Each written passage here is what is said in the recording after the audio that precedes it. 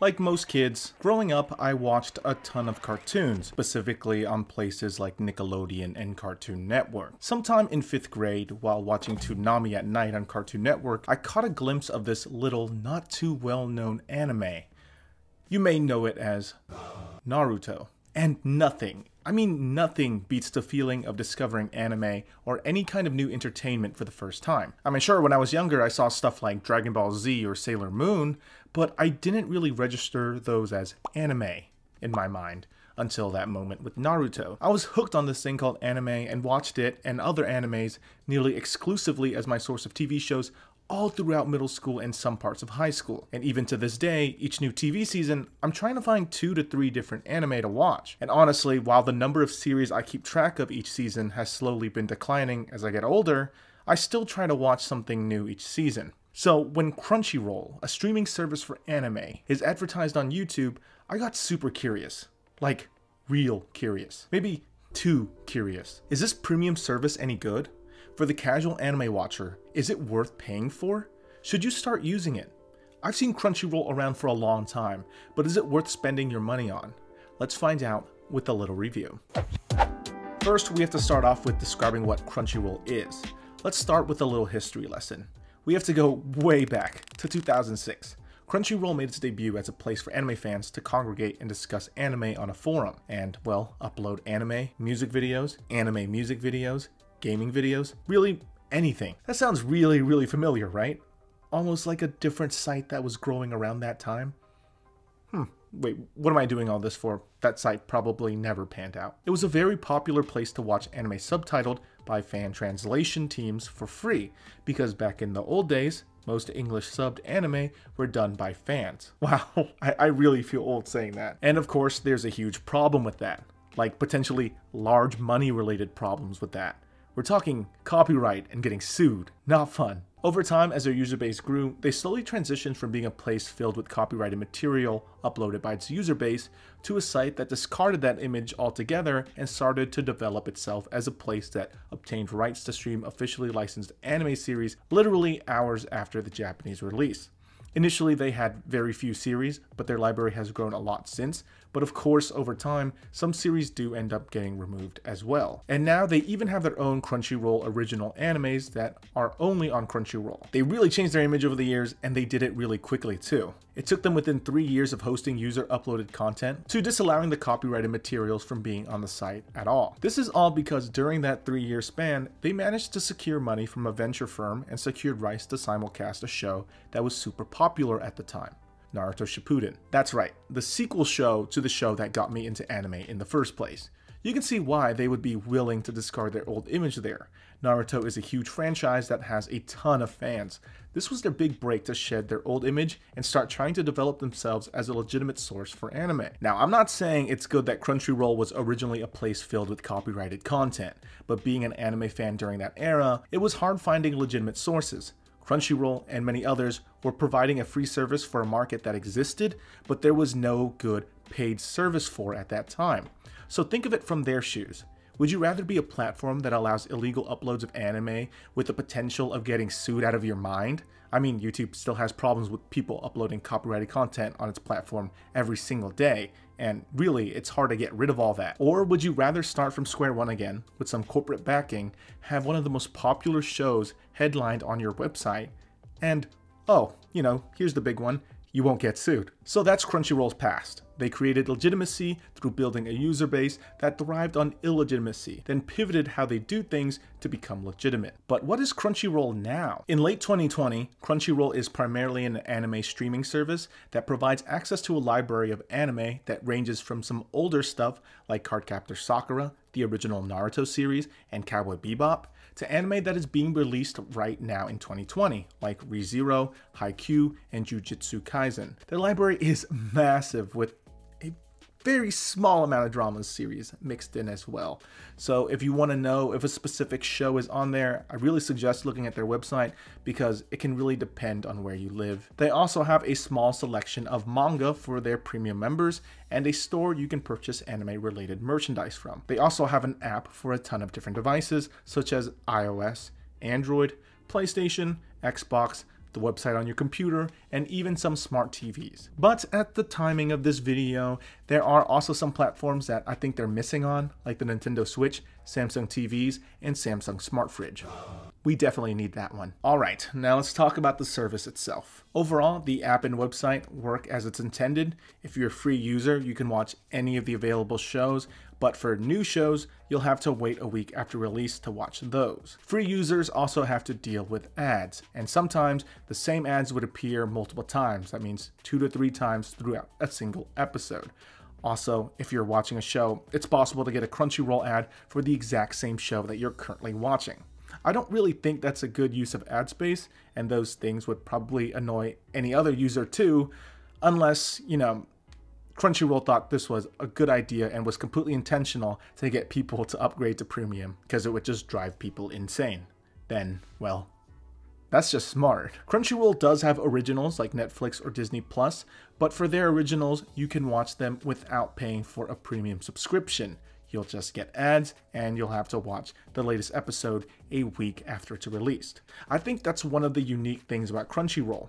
Unlike the other services, it's basically free to use, but with the few cons we mentioned above. I've also spent some time the last few months as a premium member to really feel the differences. For the most part, I've been a free user of their site for nearly a decade, and here's what's felt different between being a free user and a premium user. I felt that as a premium member, you enjoyed an episode of each show more.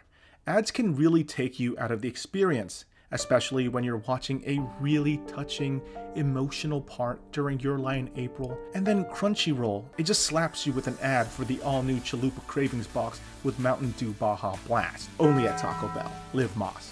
Yeah, no thanks, I'm not feeling a date with a toilet today. Basically, your watching experience is enhanced without those ads. Imagine if you got an ad at the movie theater in the middle of the film. It would ruin your immersion, right? How much that matters depends on person to person though. I mean, for me, I think it's a big deal, but if that's not a big deal to you, just watch the stuff with ads. One strange thing I noticed on their site is that if you're on the manga of a particular series, like in this instance, Attack on Titan, you can switch over to the anime episodes with the click of a button. And the tabs are gone. You can't go back to the manga using the exact same method. Of course, you can always press back on your internet browser, but I thought it was interesting enough to point out that this is kind of annoying. It's just not consistent. Alright, to be 100% fair with Crunchyroll, my overall experience with its premium membership was a positive experience with the anime feeling much more overall immersive. Alright, now let's move on to their premium plan pricing. They currently have three plans that are anywhere from $8, $10, or $14.99. To be 100% honest with you, when comparing these plans, I really think the $9.99 plan is the best value. I think its pricing is really fair. If you compare that plan to similar plans by Netflix and Hulu, you're getting similar features but for less money as well as being able to watch more simultaneous streams. Of course, Crunchyroll does serve specialty content, but what I mean by this is that the user base and variety of content on a Netflix or Hulu are both vastly larger than on Crunchyroll. Crunchyroll is just anime, manga, and a very small list of drama series. Netflix and Hulu they both have so much more. So that's why I think Crunchyroll selling for less than Netflix and Hulu while providing more niche content makes complete sense. The extra benefits from the Ultimate Fan subscription is real minuscule to me. I don't think many people have entire families that are into watching anime and all at the same time separately on six different devices. And honestly, even if you share this account between friends, between six friends, how often would you all be watching at once? I just think this particular plan is very niche and not ideal for the majority of their base. And plus, if you don't care for this particular Nendoroid figure, why would this even matter? it would just go straight in the trash. I feel this video has been long. I feel like it's the Skillshare video all over again. Is this gonna hit 20 minutes? I hope not. I don't really like making videos that long. okay, before we get to the conclusion, let's talk about some of Crunchyroll's competitors for a quick second. This is mainly Funimation and partially Netflix, Hulu, and Amazon Prime Video. Funimation offers a very similar service to Crunchyroll, but there are a few key differences. Funimation's lineup and catalog of anime have a large overlap, but there are some anime that both platforms have that are unique and the other one doesn't have. Funimation also has the same rule about waiting a week to see the latest episode if you're a free user, but there's also some titles that require you to have a premium subscription to view at all. The free to watch model is similar to Crunchyroll in that you'll watch ads before, during, and after episodes, and sadly, what's also similar with Crunchyroll is that you can get the same ads over and over again in the exact same episode. As for Netflix, Hulu, and Amazon Prime Video, well, like mentioned earlier, these services are more like variety services that offer more than just anime. They have so much more content, it's not even comparable. But if we're just looking at anime alone, then of course Crunchyroll just wipes the floor against these other options.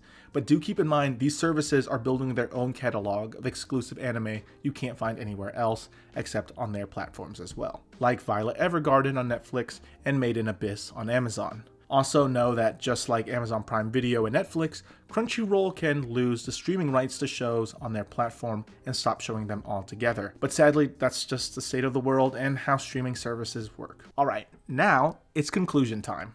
Should you subscribe to Crunchyroll? Well, it really depends, right? The real benefit of Crunchyroll Premium over not having it is you get an ad-free experience and access to anime as soon as it airs. But if you're a casual user, you probably wouldn't care and can just watch a week later. And each season, as new anime comes out, you might not enjoy the anime lineup for that season, so that subscription might not be used as much. But if you're the type of person who binges anime constantly and watches six to seven se- se- wow, that was awful. If you're the type of person that binges six to seven series a season, then this might suit you for a better overall immersive experience. So this is just my opinion, but I think it would kind of go like this. If you're super frugal, like you have no money in your pocket, nothing to spare, just watch it with ads on Crunchyroll and Funimation. Then, if you have some money to spare, I'd argue you're better off with a Netflix subscription for more varied content and still have access to Crunchyroll with ads. Then, if you have more money to spare, subscribe to Crunchyroll or Funimation Premium for an ad free experience. One of the good benefits of their subscription model is that if you're not enjoying a particular season of anime, you can easily just cancel your subscription for two to three months and join again, just to save yourself some cash during that time period. So, should you personally subscribe to Crunchyroll? And is it worth your money? Like all answers, it depends. Is anime your primary source of video entertainment? Do you watch enough new and old anime a month to justify the price? Does Crunchyroll consistently have the anime series you care enough to spend money to watch? Do you like Crunchyroll's offerings over Funimation's? If you answered yes to all these questions, then I'd say yes, go for it. It's your money, you do you. If you answered no to any of these, then maybe not. For me personally, as a casual watcher of anime, I occasionally have seasons where I find myself watching a ton of anime. Like this upcoming season looks absolutely fantastic. Attack on Titan series finale, Promise Neverland, season 2, ReZero, Doctor Stone, and Slime anime. It's it's a great lineup and I may just subscribe during the winter season and then cancel it. It just all depends on what's being offered at the time. Anyway guys, what do you think? Is Crunchyroll worth it in your own eyes? What's your favorite anime series? Maybe I'll check some of them out. Which YouTube sponsors should I check out next? Leave all that in the comment section below. If you want to see what series I enjoyed over the last few years, I'll leave it on a pinned comment below or something. If you enjoyed this video, give it a thumbs up, and well, don't forget to subscribe. I'll see you guys next time. See ya.